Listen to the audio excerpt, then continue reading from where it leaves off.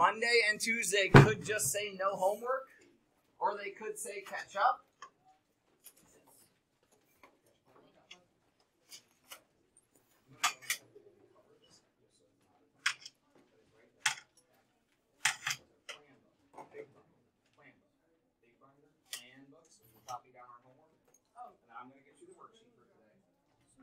So today's 411, tomorrow's 412, Friday's 413. Donovan, you got the book out? I thought it was working. Or, yeah, there you go. Thank you for correcting me. Don't trust what I say, that is less accurate than what I write. I appreciate it, Gabe. You're always keeping me honest. Anybody need me to wait any longer for what we need? You can use highlighters if you decide you want to color code stuff. I don't care if your shapes have straight lines or if they're a little squiggly. But that's why your 411 paper needs to stay out. We're going to use that dot space. Right? That dot space. So, friends, last reminder before I just move on, and when you come complain to me later, I say I told you so. These are in math now. They were due on Friday. Gave you yesterday as another chance to turn them in, and like half of you still didn't. Now, your class is doing probably arguably better than any other class, but I'm still debating if we're going to do a winner for the homework contest or not. But for what it's worth, it is all tied up after last week, right? So hopefully, maybe, if I decide that we'll have a winner from last week, you guys can maybe take the lead. But remember, if you have any of that homework to turn in and haven't, get it turned in. All right, the first problem in 411 is on your paper, but the reason I put, well, more so left these books out, is if you and your teammate are working fast enough that you're done with something and want to move on, you don't have to wait for me, right? You guys can look in the book at what's the next problem and guess that that's probably what we'll do next. Sometimes I go out of order, but that's probably what we'll do next. So the first couple problems we got on our paper here, but then we can shift into the book if we want. If you're secretly trying to do homework, it's not a secret. I can tell. Please flip back to the front of your worksheet. We're working on the front of your worksheet. Go ahead and draw this on your paper. If you need to see it closer, pull your book closer to count how many dots. Do not put it in the middle. Put it like top left, right? Somewhere close to an edge. In that dot space, we're going to draw that shape on our paper. So what's in your book that is where four one one is? So I'm gonna make it pretty well. So this is just a C still, right? So um, must have flipped a couple pages just by itself. So the bottom looks like it's kind of like two spaces now. Probably popcorn. Let go of the popcorn.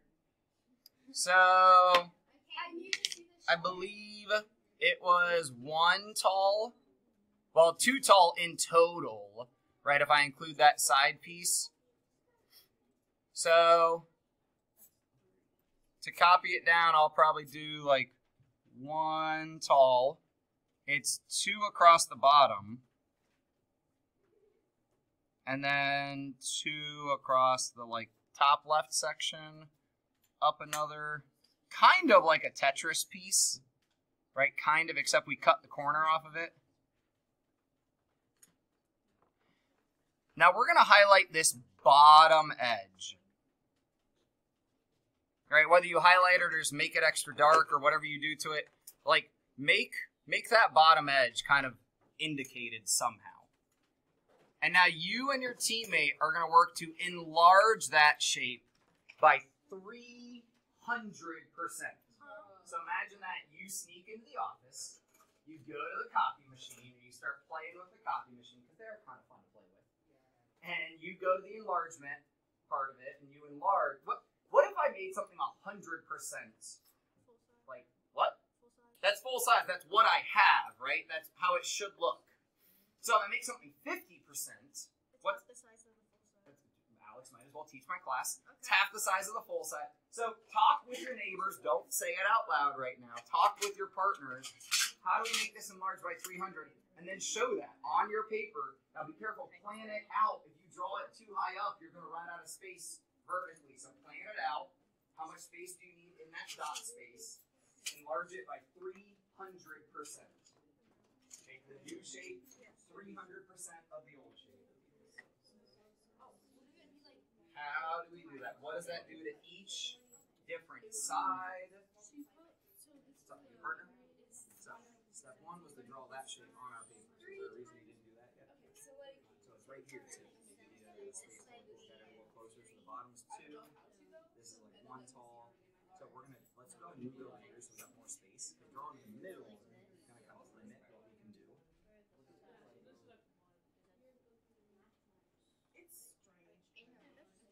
And then we're gonna enlarge it by three hundred percent.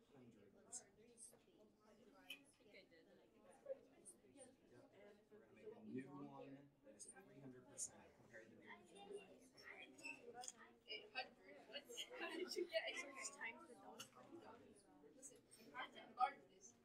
So like this bottom edge that is two right now.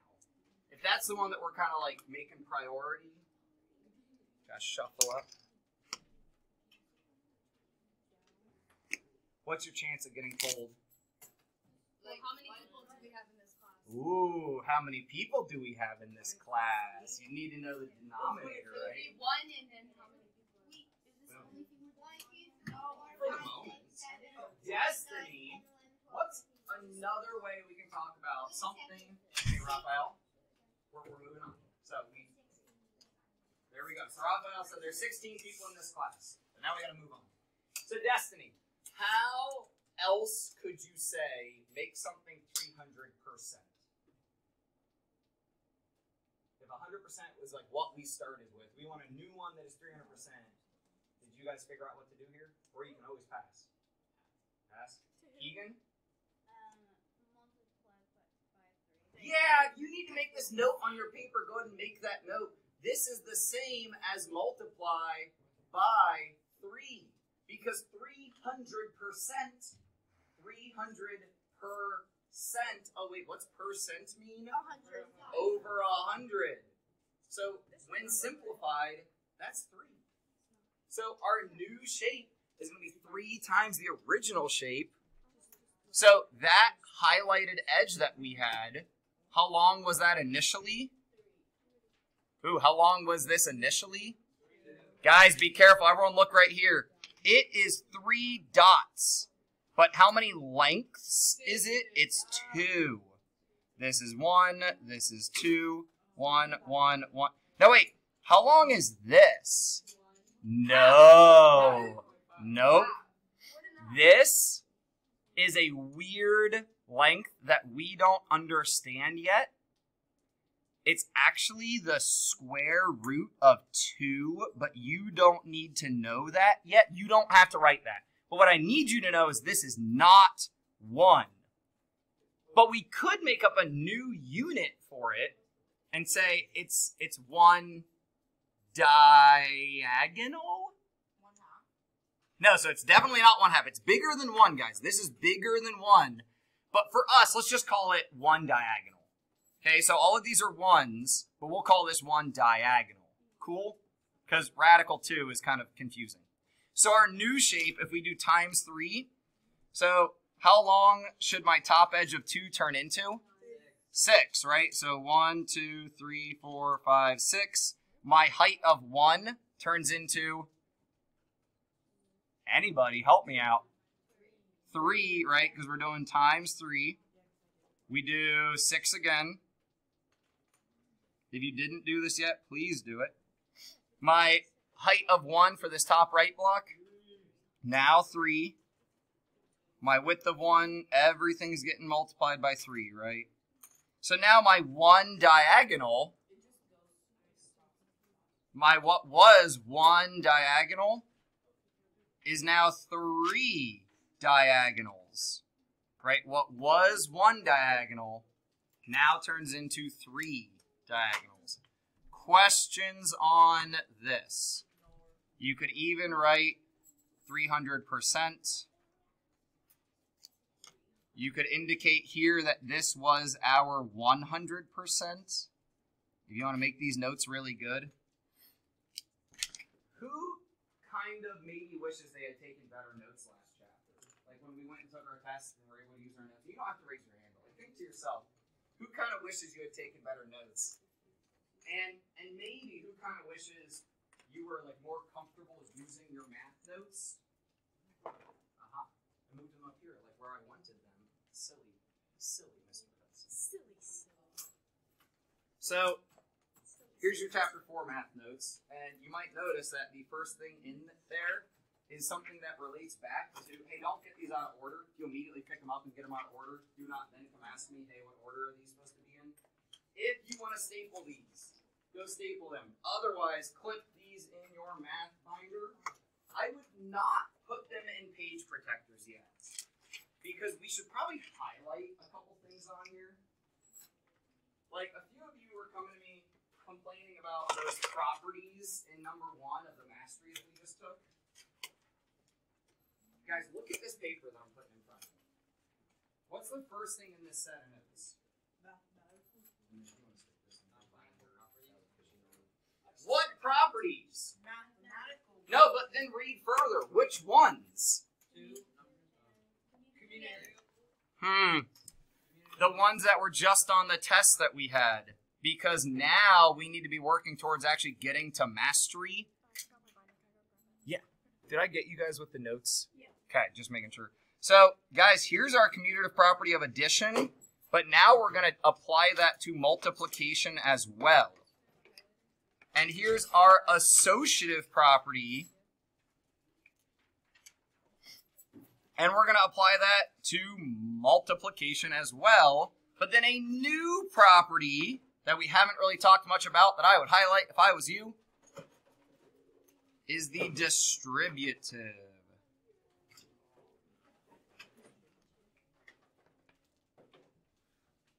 And you can sleeve these if you want on your own time, but because we're going to highlight them and write on them and stuff, you don't really need to put them in sleeves yet if you don't want. Just keep them safe in your math binder. So take a moment, leaf through these real quick. Just kind of look at what like what is in our math notes, because here in a second I'm going to ask like what you guys find interesting or what you noticed, and then clip them in your math binder. Right, clip them in, get them safe.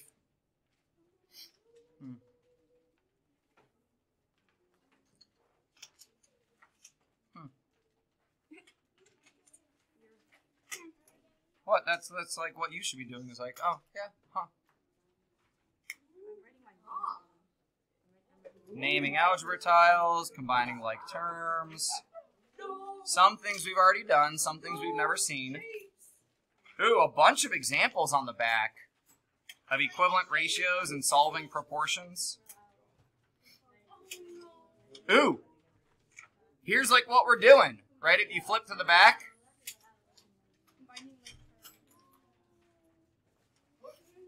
so flip, hey, friends, flip to right here on the back of your front page where it says similarity and scale factor.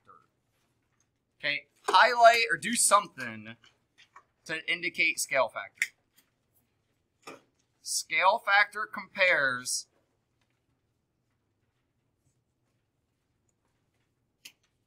Now you don't have to highlight all that if you don't want to.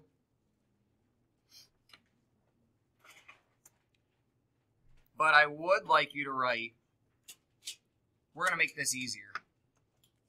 Scale factor, we're going to abbreviate SF.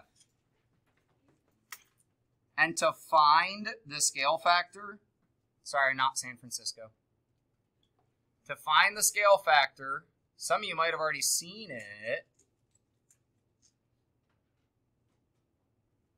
Because you might have read in your book. It is the copy or the new divided by the original. The OG. So if this is our new and this is our original, corresponding parts. Guys, that word is actually kind of important. Because could I match up this 10 with this 45? No, that'd be silly. right? If I'm trying to match up 10 with something, what would 10 match up with?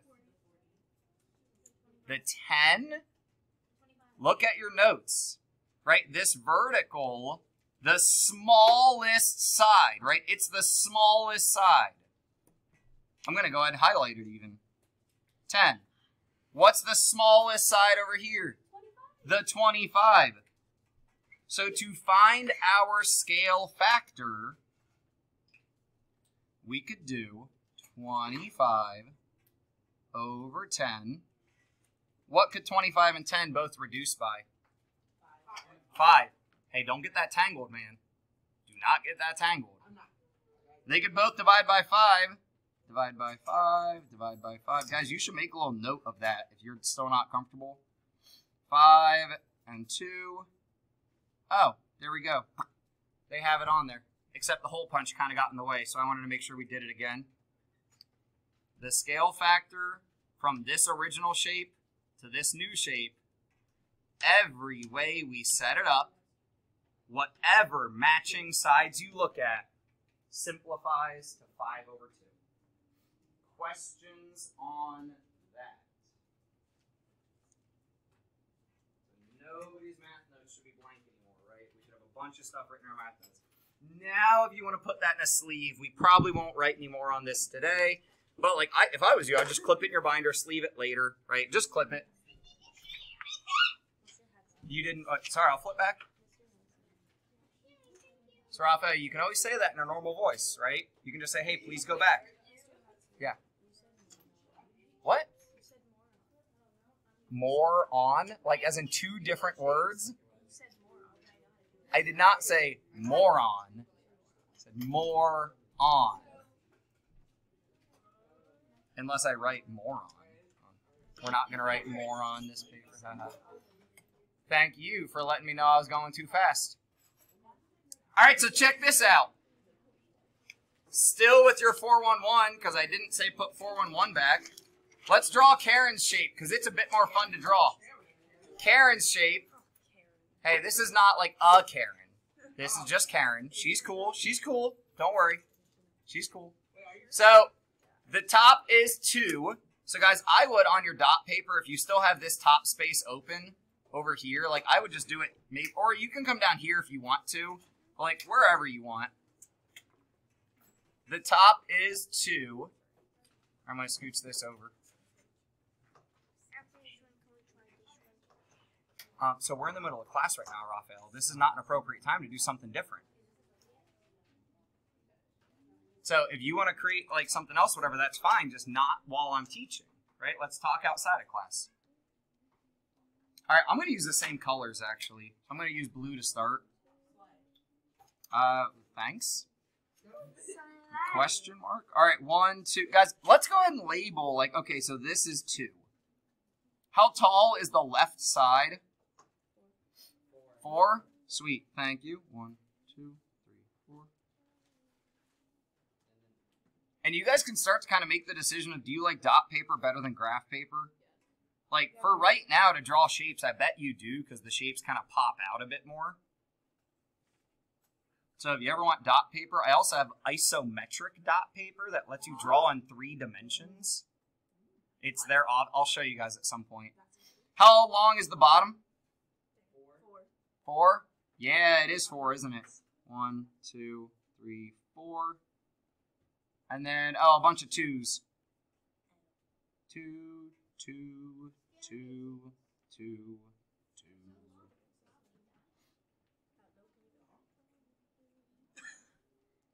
And Karen goes to the copy machine and she's trying to save paper.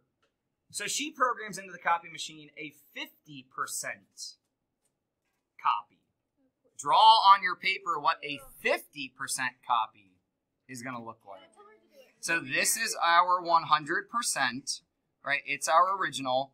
Karen wants to make a 50% copy. Make that copy for Karen.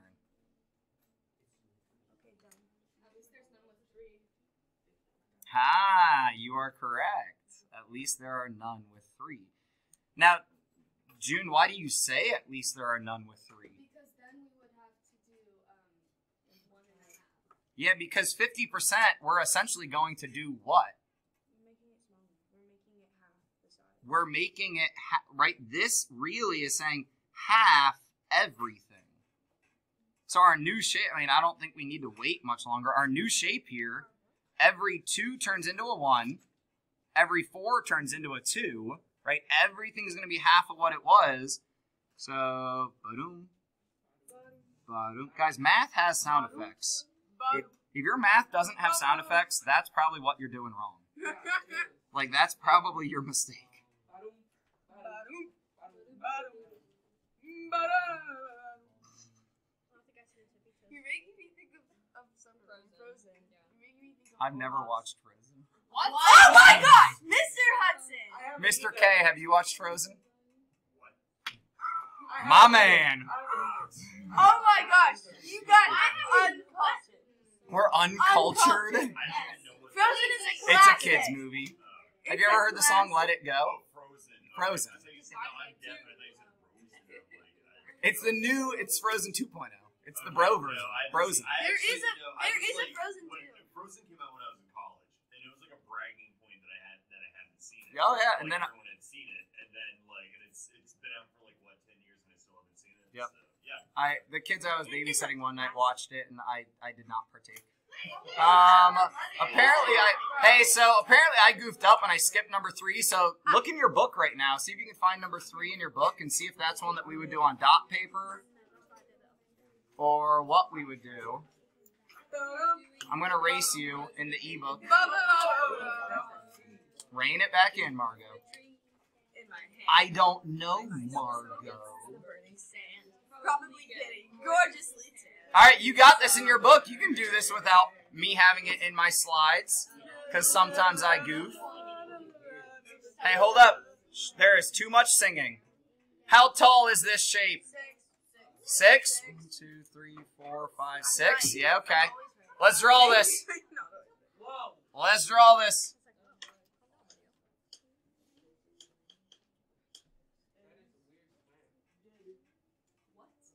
Now, wait a minute. Now you get to choose. Uh oh, now you get to be creative. And if you want to show it under the dot cam, you can.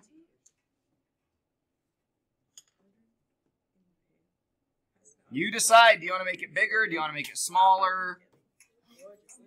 Now, wait. Is there anything different here than the shapes we've been working with, Gabe? Okay, first off, guess what?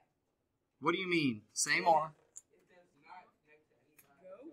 It goes like straight down to two instead of like going down. Uh, so instead of like hitting the dots on the way down, this guys, I might need to use my ruler. Hey, Margot, chill. I don't, I'm not sure if that's possible. I am sure it is. If you can't, leave. Okay, you got two options: do math or leave. You're distracting me. I'll be straight up. I can't teach with you doing what you're doing. So either fix it or leave. This diagonal, it, like even how we've been counting that this was three diagonals, this was two. Di- oh, you can't see. You guys are supposed to tell me when I'm being silly. See, Margot got me all distracted. So like this was one diagonal, this was two diagonal, that was three diagonal. But this Gabe brought up doesn't go through the dots. So guys, be careful. I would draw that side last. I would enlarge or reduce all your other ones and draw this side last. Have at it. What does your team want to do? You want to make it bigger? You want to make it smaller?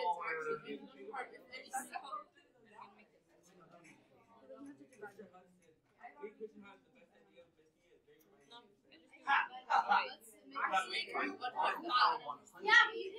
Is it canon? We just have to say. So Gabe said he and Christian are going to make a new shape. On question. Gabe said, actually say it, you say it. Then Christian was thinking about making the shape enlargement by 101%. Oh, ah, well, first, when I walked right, you said 100, and I liked it. I said 1%.